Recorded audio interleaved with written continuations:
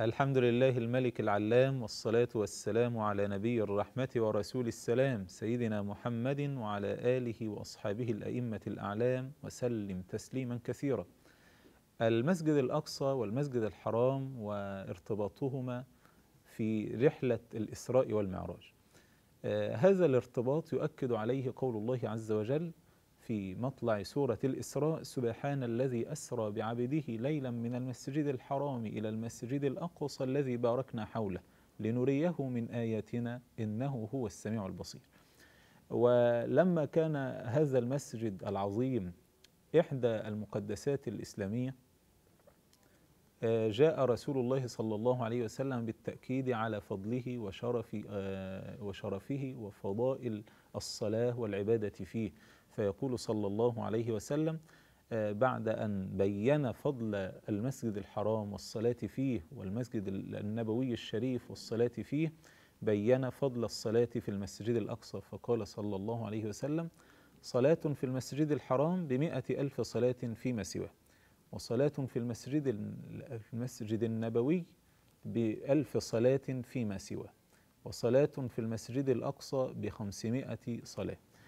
ولما كان لهذا المسجد العظيم هذا الفضل وهذا الشرف كان ارتباط المسلمين به ارتباطا قويا منذ بداية الدعوة الإسلامية.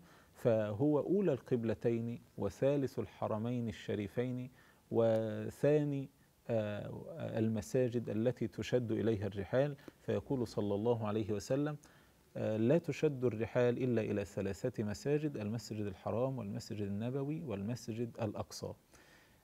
يقول صلى الله عليه وسلم عندما عاد إلى قريش وأخبرهم بهذه الرحلة العظيمة التي زار فيها المسجد الأقصى وقوبل صلى الله عليه وسلم بالتكذيب لما كذبتني قريش قمت في الحجر فجلى الله لي بيت المقدس أي أظهره وكشفه معجزة له صلى الله عليه وسلم.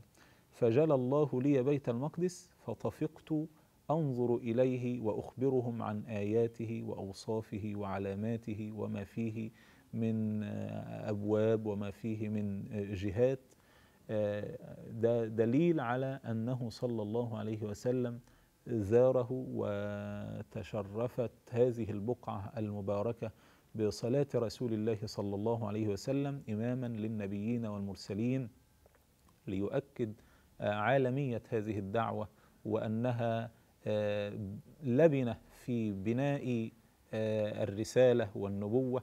فهذا يؤكد أنه صلى الله عليه وسلم خاتم النبيين وخاتم المرسلين وهو صلى الله عليه وسلم القائل عن هذا البناء مثلي ومثل النبيين من قبلي كمثل بي رجل بنى بيتا فأحسنه وأجمله إلا موضع لبنة في زاوية من زواياه فجعل الناس يطوفون به ويعجبون له ويقولون هل وضعت هذه اللبنة؟ يقول صلى الله عليه وسلم فأنا اللبنة وأنا خاتم النبيين ومن هنا آه نشتاق إلى زيارة هذه البقاع المقدسة. والتشرف بالصلاة فيها آه كنوع من آه أنواع الحب والامتداد والتواصل بيننا وبين هذه المقدسات. نسأل الله سبحانه وتعالى أن يجعلنا من عباده المتقين. إنه نعم المولى ونعم النصير. وأقول قولي هذا وأستغفر الله لي ولكم.